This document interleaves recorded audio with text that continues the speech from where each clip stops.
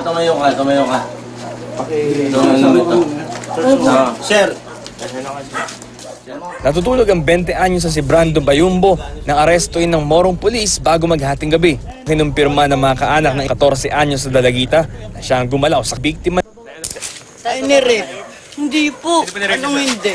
Ayon sa tiyahin ng dalagita, inimbitahan ng biktima na lumabas at uminom ng alas 3 ng hapon. Nang pauwi na siya ng alas 5 ng hapon, hinatid daw siya ng suspect pero sa iba dinala. Pinilit daw siya na pumunta sa sementeryo. Yan po, tapos doon na po naghanap. Hanggang sa gabi na, nahanap na ng lola ko. Tsaka nung pamangkin, nung pinsan ko. Hindi na po natagpuan. At umuwi siya ay umiiyak na na. Sa presinto, depensa ng suspect, Girlfriend ko po siya. Hindi po, hindi po ah, ganun na nangyari. Sa investigasyon ng pulisya, nakumpirma magkasintahan talaga ang dalawa. Pero sexual abuse pa rin na nangyari dahil minor de edad ang biktima at lalong hindi niya gusto ang nangyari. Ang importante naman ay yung suspect ay hindi minor de edad. So kulong pa rin po yung suspect. Bam Alegre, GMA News.